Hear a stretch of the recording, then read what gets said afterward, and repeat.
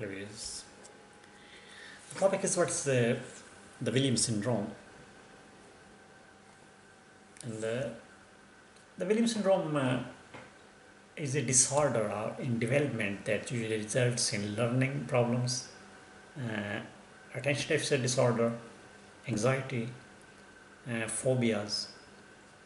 Uh, but affected individuals have outgoing personalities.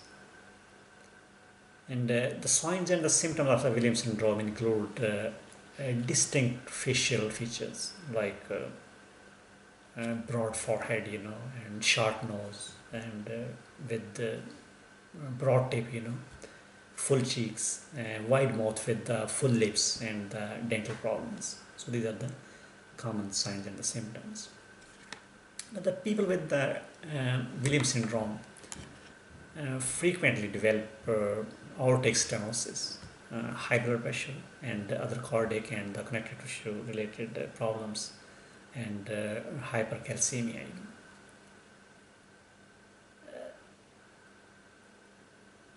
Now, about uh, one in uh, uh, 7,000 to 20,000 uh, have this Williams syndrome, you know.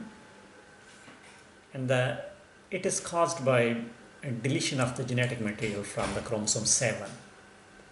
Now, the deleted area includes uh, more than 25 genes, and not all may be deleted, or the, so the individuals may vary in the amount of genetic material deleted. And the most people uh, do not inherit the Williams syndrome, and uh, the dele- deletion of the chromosomes are due to random events that occur in the eggs or the sperms from uh, their parents, you know.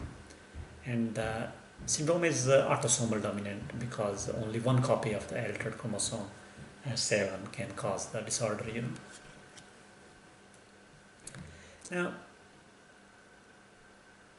it has many names. Uh, for example, uh, uh, Beuren syndrome or uh, Elfin faces, uh, faces syndrome, you know, or Elfin faces with uh, hypercalcemia, or the hypercalcemia supravalvular aortic stenosis, or uh, infantile hypercalcemia, or the uh, supravalvular uh, aortic uh, stenosis syndrome, you know, uh, WBS or the William Beuren syndrome or WMS or WS. So these are the different names used for the same medical condition.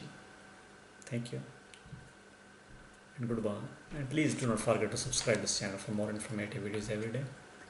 Thank you goodbye.